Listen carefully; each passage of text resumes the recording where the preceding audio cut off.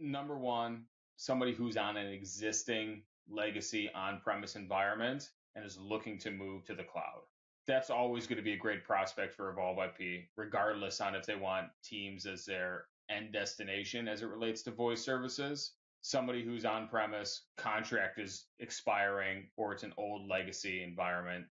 They just don't want to deal with it anymore. That's always going to be number one. Number two, customer who they might be on premise today, they might be in the cloud, but really ideally, their focus as an end customer is to move into Microsoft Teams and to deliver a native experience to Microsoft Teams for their end users and consolidate their applications down so that end users are just working outside of Microsoft Teams.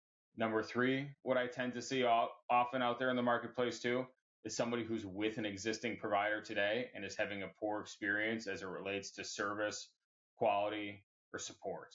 Those are great prospects for Evolve IP too. Again, because of the support model that we've implemented here and because of the implementation model that we've implemented here.